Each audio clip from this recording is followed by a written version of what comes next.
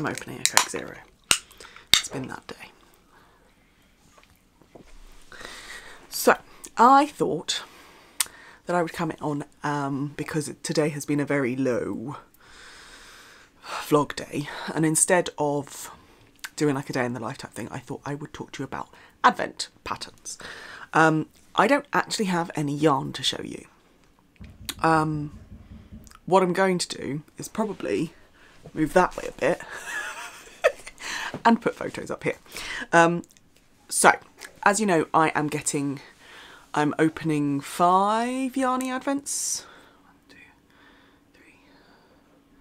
Yeah, five Yarny Advents a day um, at the moment. So I have one DK and the rest are four ply, um, ranging from 20 grams skeins to five gram micros. Um, the one that I have started, the actual project I've started is with my Lay Family, um, Lay Family Yarn Advent, which is loosely based on rainbows, um, and is a fade. Uh, and I knew it was going to be a fade beforehand, so that was the one I felt the most confident starting something from quite early on in Advent and being able to kind of add as the days went on. Um, the yarn, the pattern that I've chosen to um, do is the Brioche Adventure by Jonathan to Tollo, who is made by Tollo at Made by Tollo on Instagram. Um, this pattern is a brioche parallelogram wrap, basically. Um, it's very squishy. Uh, it's made with four ply and it basically alternates.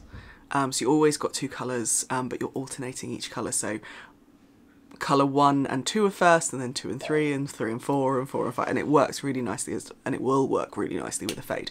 Um, I know Sharon from the SCR1 TNO Knitting Project podcast is doing um, that with last year's Lay family, I think, um, and that there is some contrast between the colours. So, and that's looking amazing as well. So.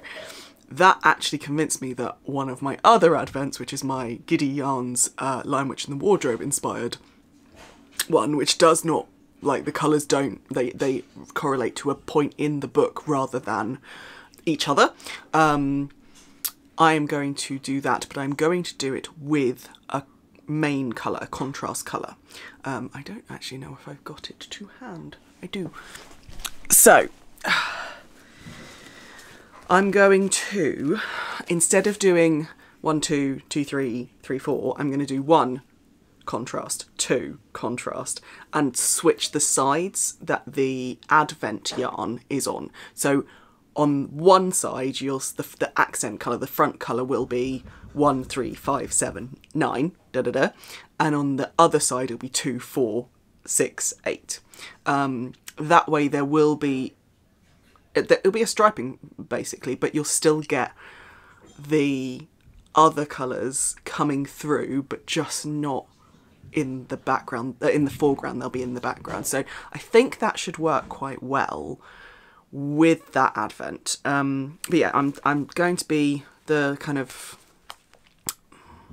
base colour, let's call it, is Shepyez Metropolis um, in the colour Izmir, which I believe is a Turkish city, but it's this lovely kind of pink tone grey.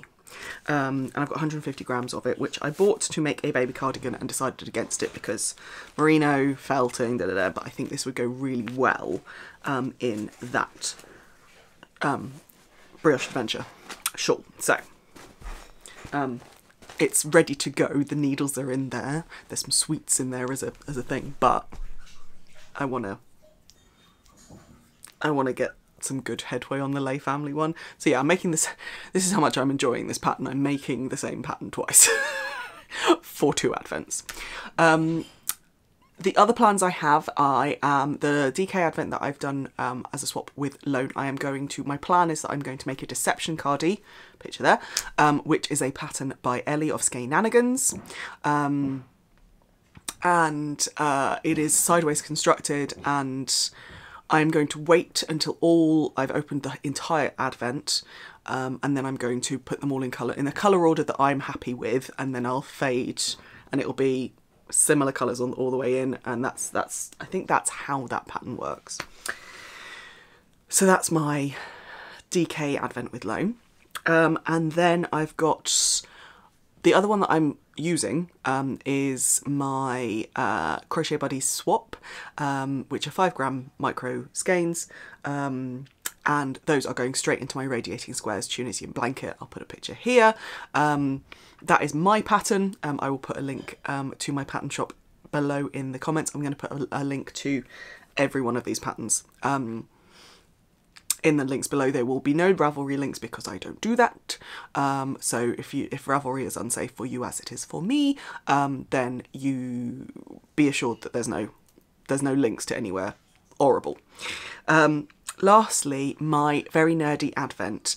My plan with that is I've got a few other nerdy skeins, um, like I've got a couple of Corner of Craft skeins, and my plan with that is to make, um, is to hold it double with a contrast. Probably, I'm currently thinking of getting some undyed merino yak, merino yak, merino yak nylon, I think that's what it is, which is the same base that I did my um, Gems in the Moss Cowl pattern. Again, linked in my pattern shops below. Um, I'll put I'll put a picture here if you want. Um, but what I'm going to do is hold it double um, so that even though the colours are very disparate, um, I'm going to make a Granny Rocks cardigan. Um, that is by Claudine, who is Iron Lamb on um, Instagram, um, and you can buy her patterns on Lovecraft and Etsy. So Tolo is on Etsy, um, so Jonathan Tolo is on Etsy, and Ellie of Skein-Anigans is on Etsy as well. Um, so yeah, uh, so there are places to buy these patterns that are off Rav.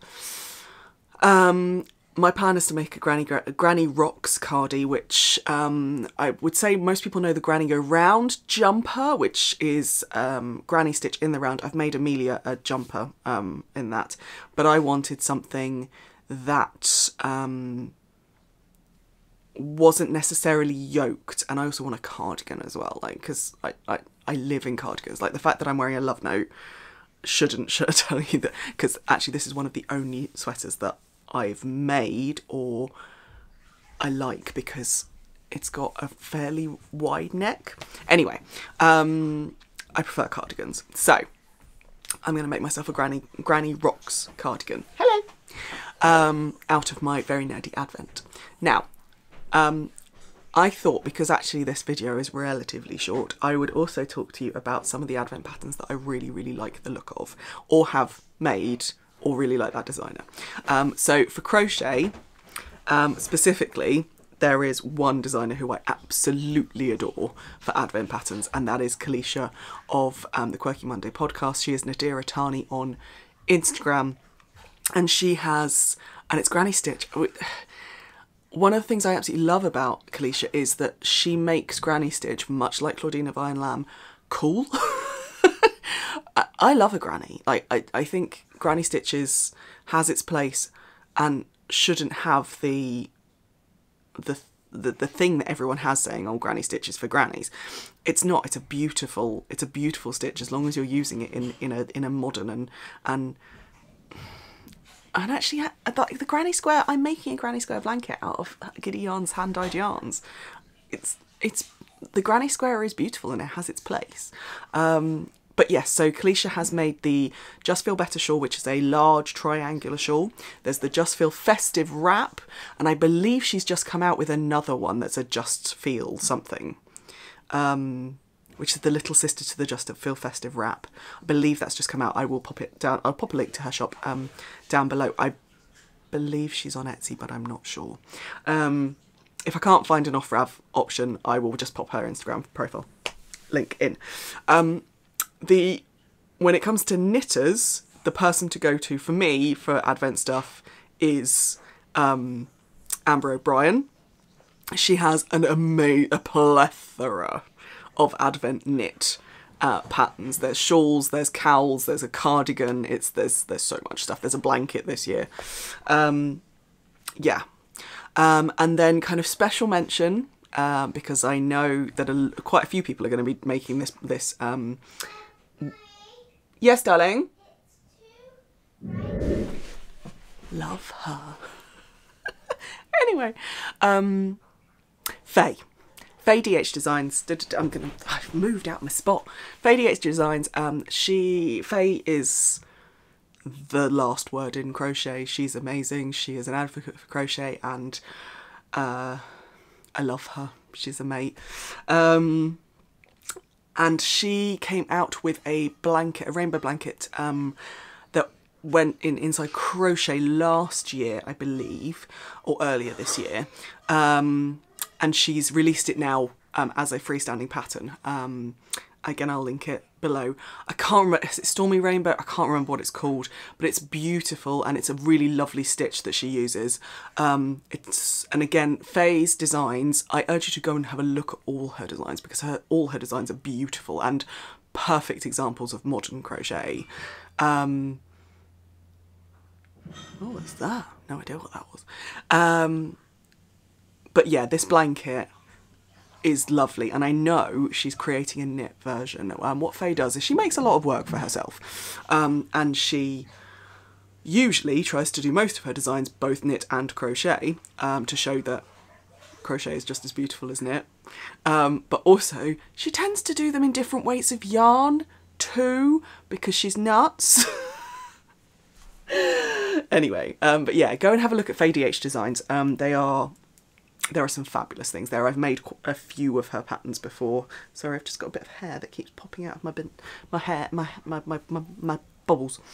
Um, okay, I think I've whittled on enough about patterns and things. Um, what's your favourite advent patterns that you've either made or seen? Uh, put in the comments below because I'm I I may have a pattern store of stupid amounts of patterns, but there's always room for more. There's always more yarn. Right, thanks for joining me guys and I'll see you tomorrow.